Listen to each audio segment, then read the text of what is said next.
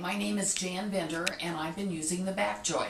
I have found that it's helped my sciatic. I've got a little bit of problem with the sciatic in my lower right back and then the pain shoots down my right leg and I haven't had it as often. Um, I don't use it 100% but I do sit at the computer a lot and I use it for that and I like it. It seems to help. It seems to help make my back feel better. Not that I have big back problems to begin with.